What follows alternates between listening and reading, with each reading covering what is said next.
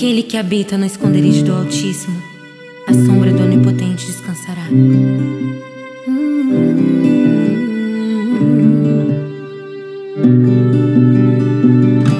Sei que tenho errado, Pai.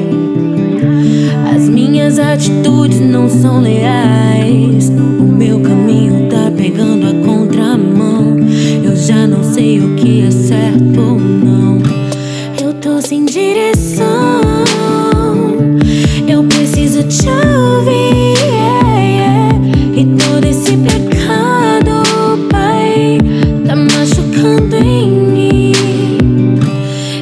Sem direção.